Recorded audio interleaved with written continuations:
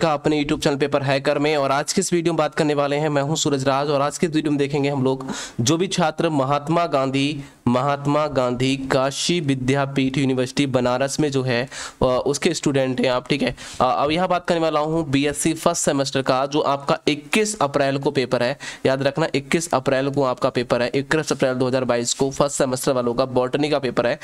Paper का नाम हो जाएगा माइक्रोबायोलॉजी एंड प्लांट पैथोलॉजी का पेपर हो जाएगा। ये प्लांट आपका, ये पेपर का नाम है। इस बात को याद रखना, बॉटनी के जितने स्टूडेंट हैं जो 21 अप्रैल को आपका पेपर आने वाला है, मैं उनके लिए इंपॉर्टेंट क्वेश्चन दे रहा हूँ। 2022 में आने वाले क्वेश्चन आप इन क्वेश्चनों को याद करके पिचासी प्लस लाएँगे। मतलब कि 2022 के आप टॉपर बनने वाले हो। तो 2022 के लिए टॉपर बनना चाहते हैं तो अभी चैनल को सब्सक्राइब कर लीजिए बेल आइकन को प्रेस कर दीजिए। और जो जो मैं आपको क्वेश्चन दे रहा हूँ, वही क्वेश्चन आपको पढ़ना है। बाकी कुछ और देखने की ज़रूरत नहीं पड़ने वाली है। तो देखो फटाफट अपने बुक नोट्स गैस पेपर को ओपन कर लेना है। और जो क्वेश्चन मैं आपको बता रहा हूँ, बस वही क्वेश्चन को आपको पढ़ना है। बाकी कुछ देखने की ज़रूरत नहीं पड़ने वाली है। तो चैनल को भी सब्सक्राइब कर लेना और बेल आइकन प्रेस करना। और जो भी छात्र हमारे नोट्स को डाउनलोड करना चाहते हैं तो नोट्स का लिंक मैंने डिस्क्रिप्शन बॉक्स में दे रखा है। आपने डिस्क्रिप्शन बॉक्स में जैसे नोट्स को मैंने डाउनलोड करेंगे तो आप हमारे सीधे इस साइट पर पहुँच जाएँगे। इस साइट पर देख लीजिए, इस तरीके की एक साइट खुलेगी। एक मिनट रुकेंगे। मैं आपको दिखा दूँगा किस तरीके की साइट खुलेगी। यहाँ सिंपल तरीके से आप पेपर हैकर डॉट इन पर नीचे वेबसाइट दे रखी है पेपर हैकर डॉट इन आप इस तरीके से वेबसाइट पर खोलेंगे। और वेबसाइट पर जाने के बाद में आप नीचे जाइए देखिए, ठीक है, नीचे जाएँगे, थोड़ा सा वेबसाइट पे इस तरीके से खुलेगी, पूरी वेबसाइट तो देखिए, यहाँ ऊपर लिखा है कि BSc first semester BSc second semester BSc second year third year ये सारे नोट्स के लिंक हैं, यहाँ सारे नोट्स आपको बनेंगे जैसे कि यहाँ टच करेंगे बीएससी फ़र्स्ट सेमेस्टर पर तो यहाँ देखो क्लोज पर ऑप्शन कर देना, ये जो ऐड आ रही है, ये हमारी ऑफिशियल साइट है, आप यहाँ देख लीजिए। यहाँ आपको सिंपल दिखा रहा है कि देखिए, यहाँ दे रखा है बी एस सी यहाँ से आप दिख रखा है, देखिए। कि देखो बीएससी फ़र्स्ट सेमेस्टर बॉटनी का आप नोट्स देख रहे हैं, और इस जो सामने जो लिंक दिख रहा है, इस लिंक पर टच करेंगे तो नोट्स पर आप पहुँच जाएँगे। यहाँ जूलॉजी का है, यहाँ केमिस्ट्री का नोट्स है, यहाँ देख सकते हैं फिजिक्स का नोट्स है, और यहाँ आप देख सकते हैं मैथ का नोट्स है। तो जो भी हैं, आप यहाँ से नोट्स को डाउनलोड कर सकते हैं। तो हम चलते हैं अपने इंपॉर्टेंट क्वेश्चनों पर।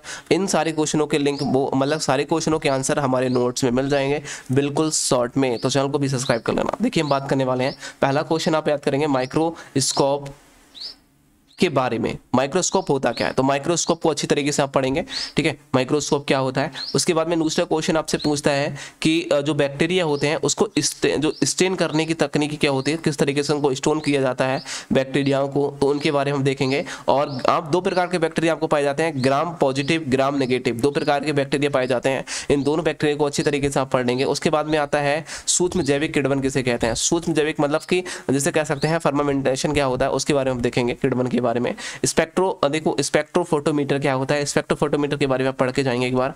इस क्वेश्चन को जो जो क्वेश्चन मैं आपको टिक लगवा रहा हूँ, अपने बुक नोट्स पर टिक लगा सकते हैं, साथ ही साथ यहाँ हमारे नोट्स को भी डाउनलोड कर सकते हैं, जो बिल्कुल शॉर्ट में नोट्स को प्रोवाइड कराया गया ठीक है? अब यहाँ देख लीजिए ऑटो क्लब क्या होता है? ऑटो क्लब को आप याद करेंगे। ठीक है, पटली प्रवाह को पटली प्रवाह भी आप याद कर लेंगे। नीचे हम जाएँगे, देखिए, इसमें हम याद करेंगे बैक्टीरिया की कोशिका संरचना का स्ट्रक्चर के बारे में। स्ट्रक्चर ऑफ़ देखो अल्ट्रा स्ट्रक्चर लिखा है ultra structure of bacterial cell तो जो बैक्टीरिया की जो कोशिका संरचना होती है, बैक्टीरिया की कोशिका संरचना के बारे में आपको संरचना देखना है। ठीक है स्ट्रक्चर देखना है। जीवाणु भोजी मोस्ट इंपोर्टेंट है जीवाणु भोजी की लाइफ साइकिल के बारे में आप देखेंगे। और साथ ही साथ आपको पता होगा, आप नीचे जाएँगे और वायरस क्या होता है और बायराइड्स क्या होते हैं, इन दोनों के बारे में पढ़ लेंगे अच्छी तरीके से। और हम नीचे जाएँगे और आपको देखना पड़ेगा। देखो, ये होता है ना, यूक्रो, कह सकते हैं, यूक्रेटिक्स कोशिकाओं के बारे में आप देखेंगे क्या उसका वर्णन और माइट्रोकैंडेरिया क्या होता है, राइबोसोम गुणसूत्र किसे कहते हैं, लाइबोसोम क्या होता है, ये सब आप याद करके जाएँगे। ठीक है प्लाज्मेट क्या होता है प्लाज्मेट को याद करेंगे, ग्राम अभिरंजक किसे कहते हैं, ग्राम अभिरंजक मोस्ट इंपोर्टेंट है। आप इसको पढ़ के जाएँगे, बाकी मैं छुड़वा रहा हूँ, उसको छोड़ने, उसको पढ़ने की ज़रूरत नहीं पड़ेगी, आप ये ही अच्छे तरीके से पढ़ के चले जाते हैं तो क्वेश्चन को देखो, कोई भी क्वेश्चन वंचित ना रहे। मतलब कह सकते हैं, कोई भी क्वेश्चन हमसे बाहर भी आता है तो कोई भी क्वेश्चन को छोड़ेंगे नहीं एक एक क्वेश्चन का सटीक आंसर लगा के जाएँगे और उनको चाहे बना बना के क्वेश्चन को करना पड़ेगा लेकिन छोड़ के नहीं आएँगे आप ठीक है? इस बात को याद रखना है। नीचे हम जाना है और यहाँ देखो बैक्टीरिया में पोषण किस तरीके से होता है। बैक्टीरिया अपना पोषण कहाँ से प्राप्त करते हैं, ये यहाँ पे देखेंगे।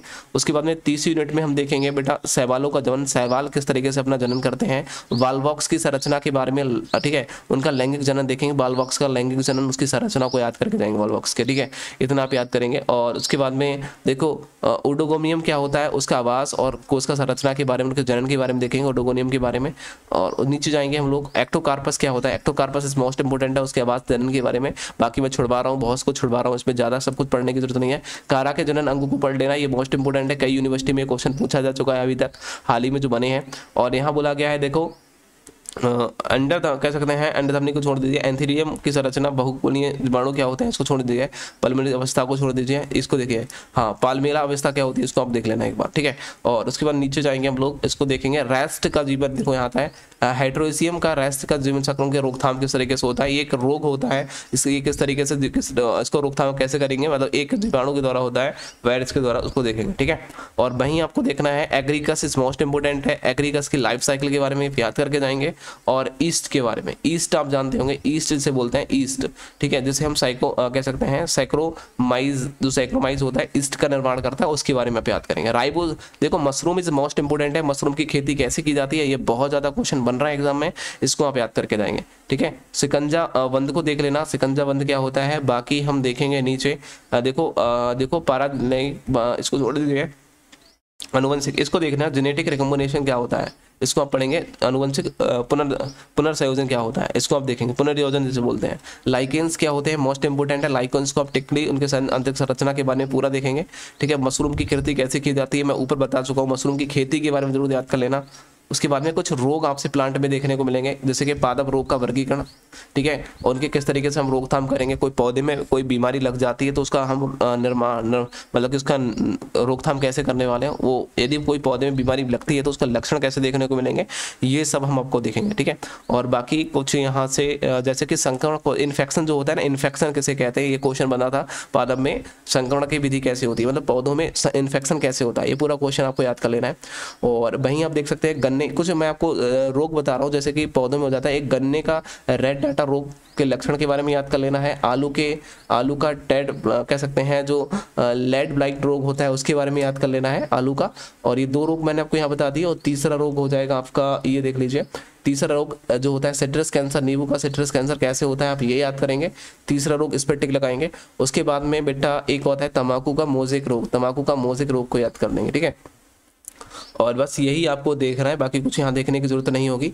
विटामिन क्या होता है? विटामिन के प्रकार कितने होते हैं, वो सब आप देखेंगे। इंजाइम क्या होता है? इंजाइम के वर्गीकरण क्लासिफिकेशन के बारे में आप याद करेंगे, ठीक है? और बाकी हम यहाँ कुछ नहीं देखने वाले हैं। यहाँ बाकी हम देखो, ये सिंगल याद रखना सिंगल सेल प्रोटीन के बारे में याद कर लेना है।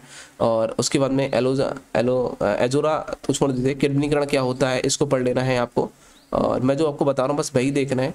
उसके बाद में साइजो बैक्टीरिया देखो साइजो बैक्टीरिया राइजो बैक्टीरिया को देख लेना। राइजो बैक्टीरिया क्या होता है, इसको पढ़ लेना है। और ट्राइकोडर्मा ट्राइकोडर्मा को एक बार पढ़ के जाना है। ट्राइकोडर्मा क्या होता है? इसको भी आप पढ़ के जाएँगे सभी लोग। और उसके बाद में आपको क्या देखना है? जो होता है ना, नाइट्रोजन स्थिरीकरण किस प्रकार, नाइट्रोजन स्थिरीकरण जो जीवाणु होते हैं, उसको पढ़ लेना है। ये क्वेश्चन थे 2022 में आने वाले क्वेश्चन। इन क्वेश्चनों को याद करके आप पिचासी प्लस लाएँगे। और अभी तक आपने हमारे चैनल को सब्सक्राइब नहीं किया है तो कर लीजिए और दोस्तों को शेयर कर दीजिए। Thank you for watching video channel को सब्सक्राइब कर लीजिए। चैनल को सब्सक्राइब करके बेल आइकन को प्रेस कर देना और वीडियो को एक लाइक दे देना। Thank you